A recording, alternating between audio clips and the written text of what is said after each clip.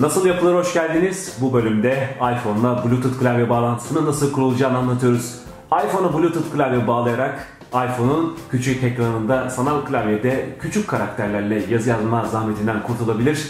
Klavyenin rahatlığını akıllı telefonunuza da yaşayabilirsiniz. Bunun için öncelikle iPhone'da Bluetooth özelliğini açmanız gerekiyor. Bunun için de ayarlara girin ve daha sonra ayarlar içerisinde yer alan Bluetooth bölümüne girerek Bluetooth açık konumuna getirin. Daha sonra Bluetooth ayarlarınızı de açın ve iki cihazın birbirini bulmasını bekleyin. Bluetooth klavye bulunduğunda görmüş olduğunuz gibi aygıtlar bölümünde yeni cihazın bağlantısı görünecektir. Eğer iPhone'unuz klavyeyi bulamazsa klavyenin güç butonuna basılı tutarak Bluetooth yayınının tekrar başlatılmasını sağlayabilirsiniz. iPhone'unuz bir süre sonra klavyeyi bulacaktır. Yapmanız gereken klavye seçeneğine dokunmak ve gördüğünüz gibi eşleşme işlemlerini tamamlamak.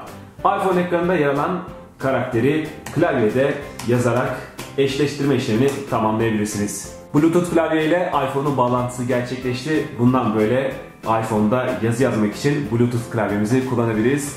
Yazdığınız yazılar gördüğünüz gibi rahatlıkla iPhone ekranında hızlı şekilde gözüküyor. Böylelikle yazı yazarken sanki bir bilgisayarda yazı yazıyormuş gibi keyif alabilirsiniz ve notlarınızı daha hızlı şekilde tutabilir, e-postalarınızı daha kolay şekilde yazabilirsiniz. Nasıl yapılırım bu bölümünden bu kadar.